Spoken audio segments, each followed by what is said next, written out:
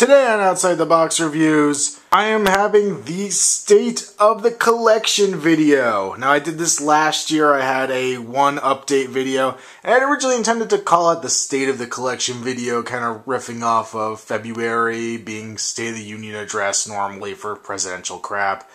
And I had intended to shoot more than one in the year, didn't really come to happen, so since I am making it an annual thing at least at this point, I figure I'll just go with a new name.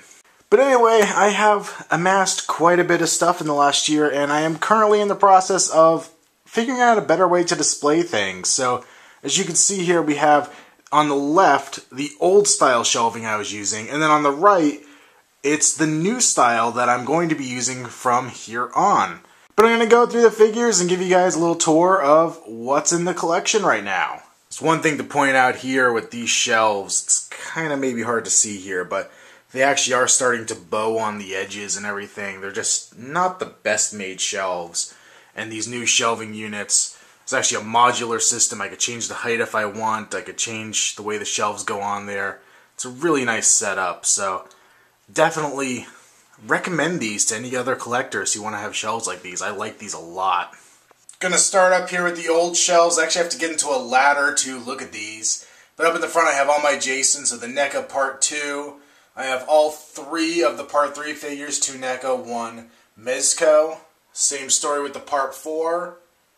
Got my custom Part 5 Roy back there, the Mezco Part 6, NECA Part 7, no Part 8. My custom one is being reworked at the moment. It's been slow going. My Jason Goes to Hell from Mezco, McFarlane Jason X, NECA Freddy vs. Jason, and the Mezco and NECA remake Friday the 13th. Back over, you can see in there I got the Hellraiser box, little replica. The Chatterbeast is in there somewhere. I can't really even get my camera on right now. I got Pinhead, Skinless Julia, two different Chatters from Hellraiser 1 and 2, Candyman, Zombie Ghostface. This is my, like, southwest corner over here. I got Texas Chainsaw Massacre. So I have Leatherface from the first from Mezco. I have the suit Leatherface from NECA, which I actually picked up at Toys R Us like last week. They brought out a case of the old NECA Cult Classics figures. Kind of weird. Then my remake Leatherface here. Then the back I got Machete, which is an awesome character but not a great figure. And Bubba Ho-Tep. And coming over here I got Custom Cropsy, Custom Leslie Vernon, actually two customs, and the official DeConte Collectibles release. My Beach Bum Zombie back there. Got Killer Clown from Outer Space Shorty. Sam from Trick or Treat. My Michael Myers, I have the in the front, I have the Evolution of Evil collection, which is the original movie, and Young Mikey with the tombstone and the pumpkin. I have the remake from NECA and the sequel to the remake from Mezco. A bunch of Evil Dead stuff, the two McFarlane, the Ash and Evil Ash from Army of Darkness, the NECA Army of Darkness in the middle, Deadite Ash, Farewell to Arms Ash, Henrietta looking scary as all hell, and of course, Hero Ash. Coming back over here, we have some of the 12-inch, my custom Part 4 Jason, the Sideshow Collectibles, Jason Goes to Hell, Mezco Part 7 Jason, and my custom Michael Myers from the original Halloween. Coming up to the Freddy shelf, I've got the NECA Part 1 and Mezco Part 1 Freddy's, the NECA Part 2, the NECA Part 3. We got two different Part 3s there from NECA and the one in the middle from Mezco. Two in the middle if you count the skeleton version. Got a couple from Part 4 here with the Surgeon and the Death Scene. And a couple from Part 5 from both companies. Then the NECA New Nightmare remakes. In the back here you can see my $2 find, the Debbie figure from Mezco, which is really crappy, but still Two bucks, can't complain. In the back here I have my part one replica glove from NECA, my Sideshow part three, the Mezco stylized Freddy, my custom Freddy vs. Jason that has Robert Englund's signature on the base, and I really need to redo that head because that head is ugly. And the remake glove from NECA. And of course I have all the accessories down here along the bottom, all kinds of stuff. I didn't really show them with the Jasons and all that. Right now I have the dedicated Freddy shelf. When I have this all said and done, I will have a dedicated Jason shelf as well. That's basically how I'm planning to run this. And then I'll have my miscellaneous horror on their own separate shelf. Coming down a notch, this shelf is kind of a hodgepodge, but mostly Terminator. I, got, I have both versions of the Tech Noir over there. I have both versions of him with the leather jacket from Part 1, the Kyle Reese, Pescadero Escape Terminator 2, Manor Machine, the Cyberdyne Showdown, the Steel Mill Final Battle one there, not the Steel Mill, the Final Battle, and a bunch of different versions of the T1000, including the Comic Con exclusive that I just found at Toys R Us, which is weird as hell. In the back here I have a few Iron Maiden figures, two from NECA, one a custom that I made myself. The Endoskeletons back there from NECA, and the Playmates T1 from Terminator 4. McFarlane, Terminatrix, TX, whatever you want to call them. The two NECA Robocops, and Gizmo's hiding out back there. Of course, the bread and butter of my collection, it seems, is the Predator stuff. So this spans a shelf and a half. So I have the Predators from Predators, I guess, back here. I got the Tracker's dog, the Tracker himself. Back there, the San Diego Comic Con exclusive Berserker Cloaked, which I also found at Toys R Us. The Masked Berserker, Unmasked Berserker, Falconer. I got the two semi-cloaked ones back there. I have the classic from Predators. Then I have my AVP stuff. I got Celtic in the back and the two Wolves. Or Wolves. I don't know, how do you want to call that? Comic Con exclusive Gort, which is one I actually did get at the time of Comic Con. The Big Red that was recently released. Full Lost Tribe in here. I just had to double check today to make sure that Trophy Wall is going to fit in my collection, and I believe it will. It says it's going to be about 12 inches tall. I've got around 13 inches of clearance, so I think everything will be good with the new setup. And of course, I got all my different versions of the City Hunter back over here. Switching over to the other shelf, I have my shrine to the classic Jungle Hunter. So, masked, unmasked, cloaked, all that good stuff in there. The cloaked are really hard to see in this video. Then, I kind of make the transition over to Aliens and Prometheus. So I have the two single-release Prometheus figures and the two-pack there in the back of the Trilobite. So he is still in constant rapage mode back there, which is kind of disturbing and a fun conversation point when people walk in here. I've got my alien stuff, Queen in the back, can't wait to get the NECA one coming out later this year. Aliens from each of the four original movies, and I got Hicks, so I can't wait to do a figure wars with him once the new NECA one comes out. Of course I have my display base with the eggs and the face hugger. Come down again, I got my Universal Horror shelf. I have the Mezco stylized Frankenstein. I got Bride of Frankenstein. I got Frankenstein's monster himself. This is my little Karloff corner over here because I got the mummy as well. And kind of got father and son going on here. Lon Chaney Sr. as Phantom of the Opera and Lon Chaney Jr. as the Wolfman. Remake Wolfman there in the back. I have the Dracula that doesn't look like any freaking actor who ever played Dracula that I know of. Got the Invisible Man. And my Creature from the Black Lagoon, the figure and the bust bank, which I love. Coming down here to the first of several bits of Godzilla around the room. These are all my vinyl figures from Bandai. So I got Destoroyah, a bunch of different Godzillas here in the front through the ages. King Ghidorah, Hedorah. I got Mothra flying up there in the back, suspended by strings. I got a couple different versions of Gigan. I got King Caesar, Mecha Godzilla, Rodan, Space Godzilla, and my favorite Anguirus. Down another shelf, one of the few places I have packaging on display in my room. I got my Ninja Turtle shelf, so I have these cool bubbles that came with the classics line. I felt like they were a good backdrop, if nothing else. And here I have all my classics figures with their vintage counterpart, which I love. And off to the sides, I have the ones from the new TV show, which don't get quite as much love for me, but these ones in the middle here are where it's at for me as a old school Ninja Turtles fan. Down here, I got some little book things, but I have my two replica Jason hockey masks. This one from Fiberglass Masks, this one from NECA down a little bit here, I have some vintage, or 90s at least, Trendmasters Godzilla. I've got the 10 inch Godzilla, I've got the Mecha Godzilla, and I have the Mothra.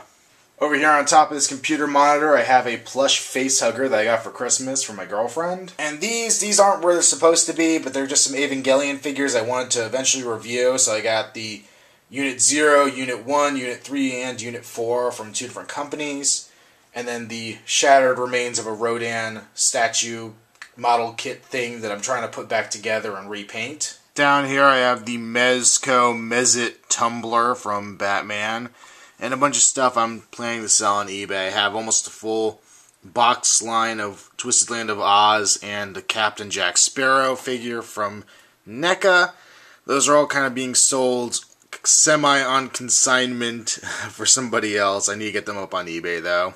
I have kind of my high end shelf up here. I've got the Marvel Select Hulk, which isn't really high end. But I have the two hot toys in the house my Red Skull, my girlfriend's baby doll, and my Sentinel from Marvel Universe.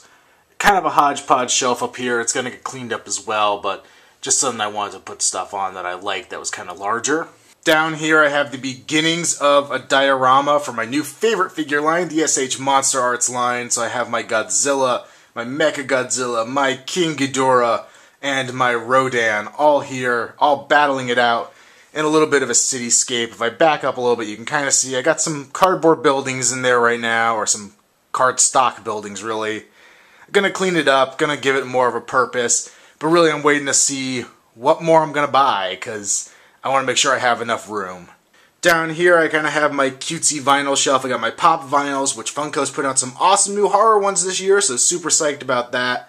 My custom baby face from the Hills Run Red. Mighty Mug back there. Love that movie. Yeah, if you're a horror slasher fan, haven't seen that movie, I suggest checking it out. Kind of a fun one there my Assassin's Creed display. Eventually I'm going to get another shelf and make a whole video game display, but I got my roleplay gauntlet, and I have the first four Ezios, and hopefully McFarlane will give me one that fits in scale with these guys. Over here I have my Universal Horror Mini-Mates. I have the six here as black and white ones with a custom background display shelf, so Hunchback, Dracula, Frankenstein's Monster, Mummy, Wolfman, and Creature from the Black Lagoon. Then we come down here and we have the color ones. So the top is the mummy with a sarcophagus. we have Dr. Frankenstein and his monster, the Bride of Frankenstein and the Angry Villager, Van Helsing with Dracula, Creature in the Black Lagoon with Dr. Reed, uh, Captain Phoebus, I think, from Hunchback, along with the Hunchback himself, and of course the Wolfman and Larry Talbot there at the bottom right. For randomness sake, I have a giant bust or taxidermy piece of a werewolf hanging on the wall. It was a Halloween decoration that we didn't have anywhere else to put it, so it kind of found its way into my office. And then, for some reason, these little critters have been crawling all over my office lately. Just everywhere I look, there's these little green gremlin y things just hanging off the air vents. Or sometimes they just hang out by the windows and stare at stuff. Or even like sitting on top of my hard drives and stuff. It's kind of creepy. I don't know what they want from me. Got my little zombie G.I. Joe down there. The only G.I. Joe I've bought since I was a kid, but I love the zombie thing going on. A couple blind box things I picked up recently. Two of the portal turrets and two of the micro mugs from Iron Man 3. Got that new 6-inch bleeding edge armor as well. And my desk's a mess with full of stuff. Then, of course, the really sad parts of my collection. I got all my MU down here just in a tote. They're all just kind of thrown in there and not really displayed well. Hopefully that will change eventually. And then here in the closet I have even more stuff that I'm not displaying. I have a few legends in here. I have some of the video game figures. I got those Jazwares Ren Stimpy that suck. Some Star Wars crap in there. Video game characters, I didn't say that already. My Avengers stuff is somewhere in this pile here. All my Avengers movie figures, at least. The uh, Marvel movie and Avengers movie. And then up here I got the Twisted Land of Oz and a couple other odds and ends back here. Just stuff I don't have a place to display yet, and I'm eventually going to get there. And then back here is the wall of boxes, all the SH Monster Arts and Hot Toys and Sideshow. I keep their boxes up here. Here I have a Corgi. It's a very important part of the collection and a very animated piece. Great articulation on this one, even though the legs are a little short. I have a metric buttload of DVDs in here, tons of horror DVDs, sci-fi, Avengers, all kinds of stuff. I have more DVDs in another room as well, but this is just what I keep in my office. I've got my custom Casey Jones mask that I made for Halloween. It's all basically paper craft and latex. It's kind of a weird little creation there. I have a big Godzilla vs. the Sea Monster wall scroll. I love this art. It's just so big it's hard to find a place to display it, so it kind of gets the door opened up and covering it most of the time, but I love this poster. Up here I have a few different posters. I tried to go for a style that was kind of neat, so I got picked foreign posters that were all kind of an older style artwork for the most part. I have a French Creepshow poster, a Japanese Godzilla vs. King Ghidorah poster, an American Texas Chainsaw Massacre poster, and an Italian Night of the Living Dead poster. Back over here I have my horror convention wall, which I have a bunch of programs and autographs. I went to the Spooky Empire Horror Convention in Orlando two times so far. Hopefully going to go back this year again. So I have the programs from each year, the lunch menu from each year, and the wristbands for me and my girlfriend going. Over here I have Danielle Harris from Halloween movies and Hatchet and stuff, signed image. I have a picture of Freddy Krueger because I got Robert Englund to sign the base of my figure. So I don't have his autograph on a picture, but I do have a Freddy piece right there. Kane Hodder, Jason Voorhees, Danny Trejo, Machete, Bill Moseley, Chop Top from Texas Chainsaw 2, Devil's Rejects, all kinds of good stuff. Derek Mears remake Jason and the Predators in the new Predator movie, or a few of them, or one of them. I don't even remember which ones he played anymore. Doug Bradley, Pinhead, and Hellraiser. And Tony Todd, the infamous Candyman himself, actually had him sign a Reverend Zombie picture because I freaking love Hatchet. So that is it for the State of the Collection video for 2013. I may end up doing updates as I get this whole thing put together because I am excited to get the shelving set up and looking good. But hopefully you enjoyed my collection update. And if you saw anything I haven't reviewed that you want to see a review of, let me know. Doesn't mean I'll necessarily do it anytime soon, but uh, it'll at least put it in my head as something people want to see. So, yeah, make sure you check me out on Facebook as well. Link in the description as always. I'll post pictures on there, all of us of the stuff I get, and when I get shelving updates, it goes there first for sure. And I will see you guys next time with another Outside the Box review.